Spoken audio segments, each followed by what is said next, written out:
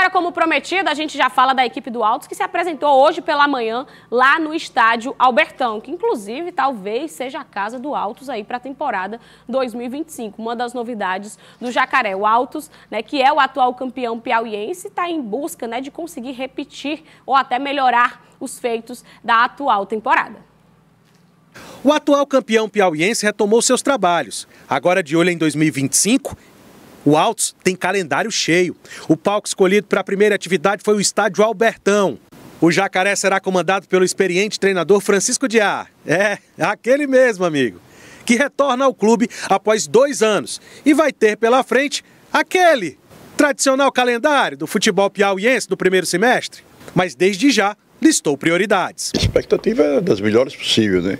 Calendário cheio, isso aumenta a responsabilidade.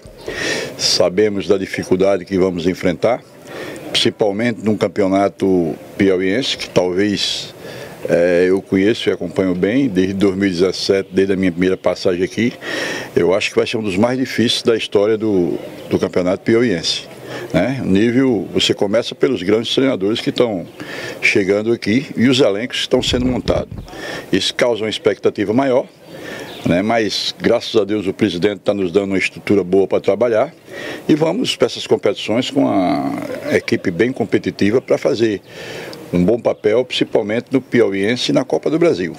O Altos optou por valorizar e manter uma boa espinha dorsal do elenco campeão piauiense de 2024. E entre os nomes está o zagueiro Arlan, que se mostrou motivado para mais uma vez defender a camisa do clube.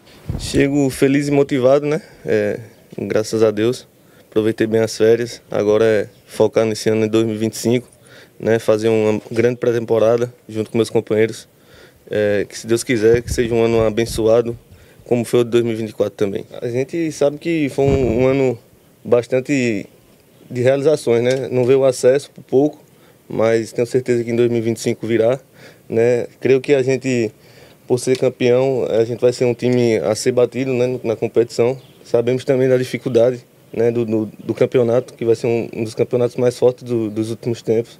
Né? Vem um Capo que vem forte, vem um River também, Parnaíba, Oeiras também que monta time forte, o próprio Fluminense também entre os outros também. Né? A gente sabe da dificuldade que vai ser, porém a gente sabe do, do grupo que está sendo montado, né? das peças que vem chegando, do grupo que ficou também, né? que é bastante importante, né? a gente já se conhece bastante. Tenho certeza que, tenho certeza que nosso time vai encaixar igual encaixou nesse ano e vamos fazer uma grande temporada. Na fila das novidades alviverdes para o próximo ano está o centroavante Rodrigão. O atleta é grande, hein? E é novidade no futebol piauiense, chegando com referência ele está cercado de expectativa para assumir responsabilidades. Principalmente Deus me deu essa oportunidade de vir aqui, né? E também tem um treinador que eu já trabalhei, o Diá, né? Então a gente já se conhece, alguns ali já joguei contra também.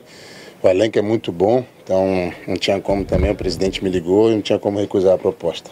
Rodrigão chega com moral, pois era um desejo antigo da diretoria e é velho conhecido do técnico Francisco Diá. Inclusive, Juntos, já foram campeões da Copa do Nordeste, mas o primeiro desafio para o Camisa 9 será individual.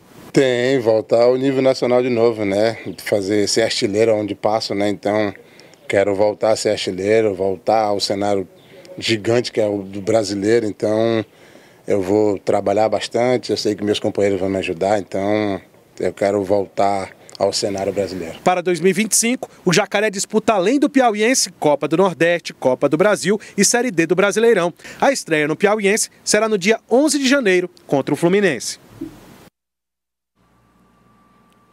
Tá aí, a equipe do Altos oficialmente né, deu a largada aí, pensando nessa temporada 2025. E lembrando, né, a gente comentou aqui ontem no Cidade Verde Esportes que o Altos Começou a treinar hoje, mas já tem uma senhora agenda para cumprir, porque vai estar realizando três jogos amistosos dentro deste mês de dezembro ainda. Né? O time vai enfrentar a equipe do Motoclube aqui em Teresina e depois disso vai até São Luís, no Maranhão, para enfrentar o Motoclube novamente uma espécie de jogo de volta e depois enfrenta a equipe do MAC, o Maranhão Atlético Clube.